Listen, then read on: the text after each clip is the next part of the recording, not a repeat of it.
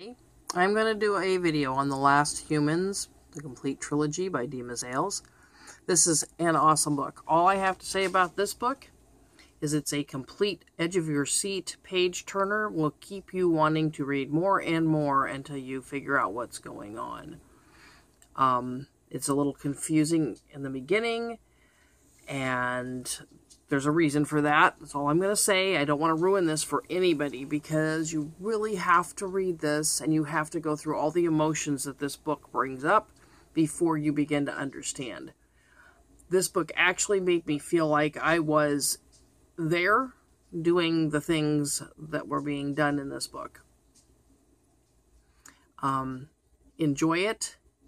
It is a wonderful book to read.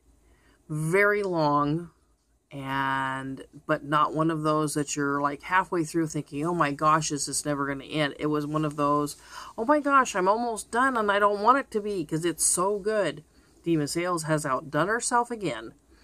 And if you don't get The Last Humans, the complete trilogy, and read it, you are missing out on a wonderful book that I am sure you would thoroughly enjoy. I did, and it can only get better. Thank you for watching my video. I was given this at a reduced price for my honest review, and all opinions are my own.